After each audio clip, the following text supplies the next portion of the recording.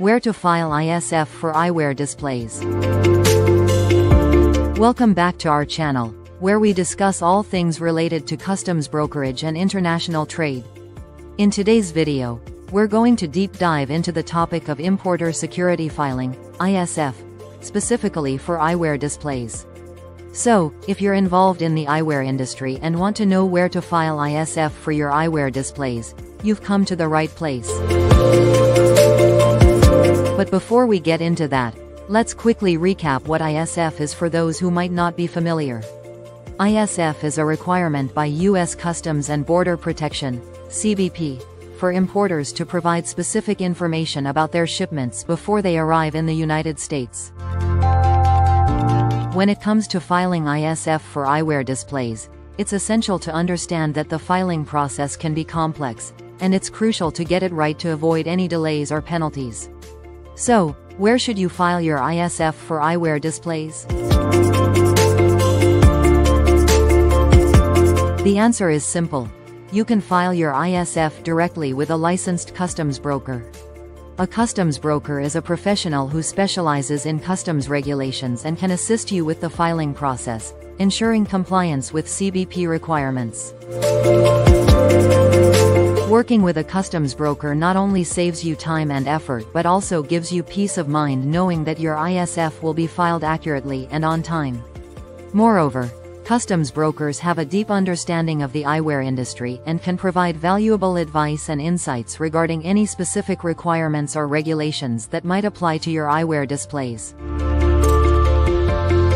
When selecting a customs broker, it's important to choose a reputable and experienced one. Look for a broker who has a strong track record in handling ISF filings and has a good understanding of the eyewear industry. Additionally, it's worth noting that filing ISF for eyewear displays is just one aspect of the customs clearance process. To ensure a smooth flow of your goods, you may also need to consider other requirements such as obtaining a customs bond. A customs bond is a financial guarantee that ensures compliance with CBP regulations and payment of duties, taxes, and fees. It's important to understand that a customs bond is separate from ISF filing, but it is often a necessary requirement for importers.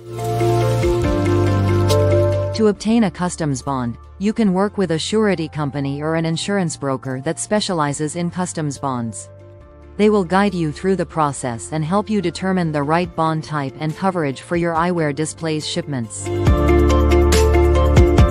Remember, having a customs bond in place not only meets regulatory requirements but also provides protection and security for your business in case of any unforeseen circumstances or non-compliance situations. In conclusion, when it comes to filing ISF for your eyewear displays, it's best to work with a licensed customs broker. They have the knowledge and expertise to ensure accurate and timely filings, which is crucial in the ever-changing world of international trade. Thank you for watching this video and learning more about where to file ISF for eyewear displays. If you found this information helpful, make sure to subscribe to our channel for more videos on customs brokerage, customs bonds, and other topics related to international trade. Video disclaimer below. Stay tuned for our upcoming videos to come.